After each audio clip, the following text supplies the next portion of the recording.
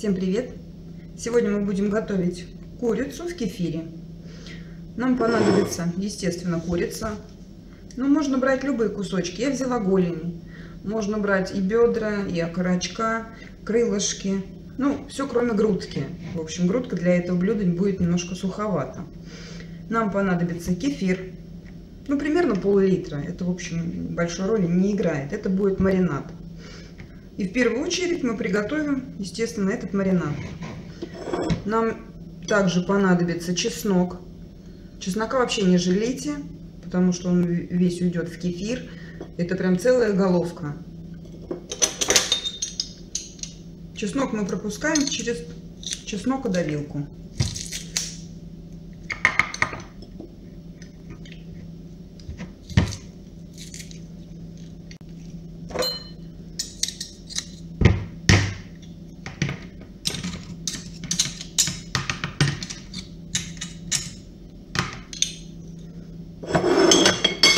Теперь сюда же мы добавляем соль. Ну, немножко, может быть, пол чайной ложки буквально. Душистый перчик черный. Вообще приправы можно добавлять любые, какие вы любите. Это по, по вашему вкусу. Я вот добавляю немножко хмели сунели. Там, видите, чуть-чуть. И приправа курицы. Там специальная уже смесь всяких приправ. Вот всего по чуть-чуть. Все перемешиваем, она у нас будет настаиваться. И очень советую взять базилик. Если есть возможность, э, купите свежий. Если не сезон, возьмите сушеный. Он очень ароматный. Такая травка немножко специфическая, на любителя. Но в этом блюде, на мой взгляд, вот бесподобно вообще. Листочки мы просто нарежем. Ну, как, как сможете, в общем, это большой роли не будет играть. Ну, вот так. Просто их нарубим.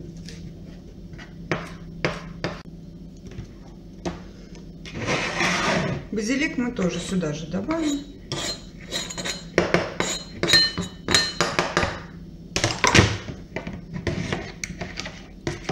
Все перемешали, пусть немножко постоит, настоится. Я пока что в это время помою курочку. Теперь все ножки мы перекладываем сюда в мисочку. Они у нас будут мариноваться. Если вы никогда не готовили, я вам очень советую вот этот способ. Ножки получаются очень вкусные, мягкие такие, нежные. Мясо бесподобное.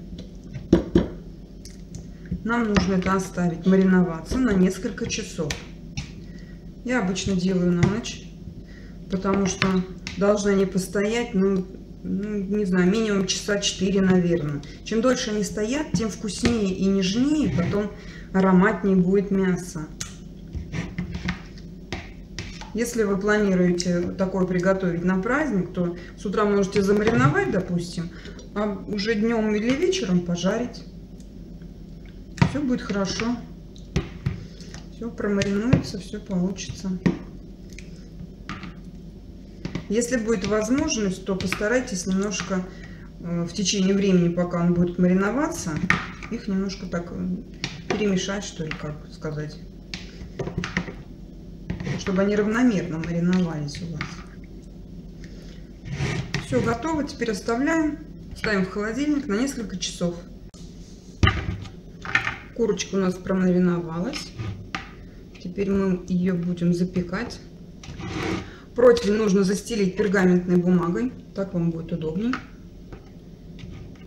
И сюда мы курицу выкладываем. Духовку включаем заранее. Прогреваем ее до 180 градусов.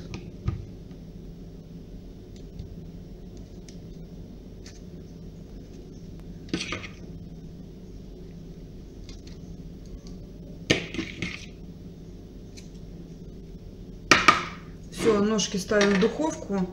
Ну, примерно на полчаса. А так смотрите по своей духовке, может быть чуть больше. Вообще курица очень быстро готовится. Ориентируйтесь сами. Курочка у нас готова. Надеюсь, видно. Очень мягкая такая получилась. Прям пышная, можно сказать, если такой эпитет подходит к мясу. Теперь нам нужно выложить его на блюдо, в котором вы будете подавать.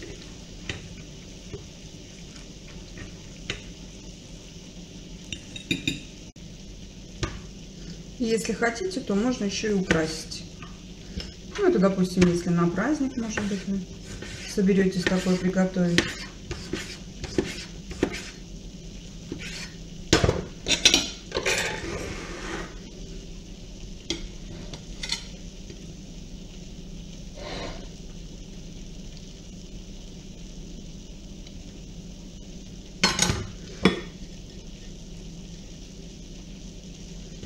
Просто вот как я зеленым луком засыпать. И уже получится все и красиво, и празднично. Курицу можно подавать к любому гарниру. Я думаю, сами знаете, к чему мясо можно подавать, к тому и курицу. Очень вкусное мясо получается, очень сочное, нежное. Обязательно попробуйте приготовить. Я думаю, вам все понравится. Всем спасибо. Пока-пока.